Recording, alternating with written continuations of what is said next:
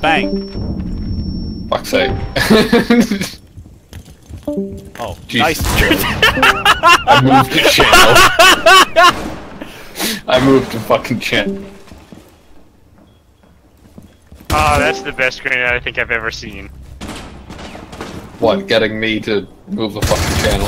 No. Fuck. David Behind on stunned me, Cav. everything, and I threw my grenade up top, except it bounced Watch off out, the top Tara. of the door frame, bounced off, and then fell down on top of me. Never mind, Finka.